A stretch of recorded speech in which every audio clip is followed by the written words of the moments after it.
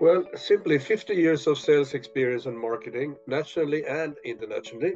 When I left Sweden for Germany, I went for the regional director Europe, Middle East, and Africa for an Australian company. At which time I started own sales subsidiaries in England, France, Germany, and Sweden. All the other countries, there were distributors.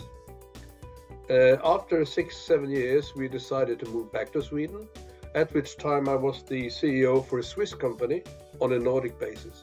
After retirement, I was the senior account executive in a company that was targeting the finance sector, meaning that I was selling interim solutions and recruitment to the CEOs in the different com- companies.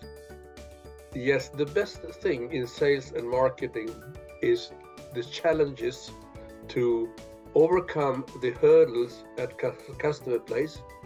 Now, it may not be the price, it may not be the product, but it's as much as confidence from whom you're buying.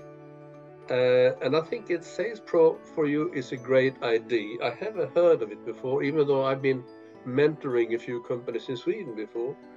But I think it's a great idea to give the SMEs and the startups the guidance in sales, not to tell them what to do, but guide them so they do not make the same mistakes that I may have done.